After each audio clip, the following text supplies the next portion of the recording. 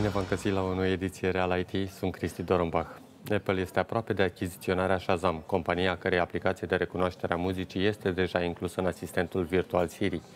Prețul de achiziție ar putea fi de peste 400 de milioane de dolari. Asta în timp ce compania Shazam a fost evaluată la circa un miliard de dolari în 2015, când a primit ultima rundă de finanțare. Aplicația Shazam folosește microfonul de pe smartphone pentru a identifica aproape orice melodie care este redată în apropiere. Tot cei de la Apple au lansat și lista de aplicații de top din Statele Unite pentru iPhone și iPad. Aplicațiile pe care Apple le-a ales sunt cele mai populare ale anului, ceea ce înseamnă că acestea sunt aplicațiile care au depășit constant uh, graficul downloadărilor gratuite din App Store. Facebook, Google și Snapchat revendică 11 dintre primele 20 de locuri, inclusiv Bitmoji, YouTube și Instagram. Cei de la YouTube se pregătesc de lansarea unui nou serviciu plătit pentru streaming de muzică în primăvara anului viitor.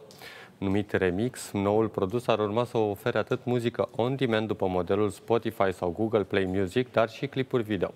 La YouTube există deja un serviciu de acest tip, el se numește YouTube Red și se concentrează pe furnizarea de conținut video original în cadrul unor canale YouTube accesibile doar pentru abonați iar aplicația YouTube Music oferă deja muzică on demand. Rămâne însă de văzut cum anume se va diferenția serviciul YouTube Remix de produsele existente.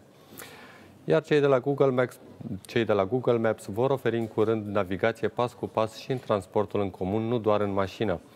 Aplicația îi va spune utilizatorului chiar când trebuie să se dea jos din autobuz, tramvai, tren sau metrou. De asemenea, programul te va informa și care sunt următoarele etape ale călătoriei cu transportul public, exact ca în timpul unui drum făcut cu mașina. Jurnaliștii specializați în IT consideră că aplicația va fi utilă în special turiștilor când vizitează locuri noi și mai puțin în timpul navetei zilnice de acasă la locul de muncă și înapoi.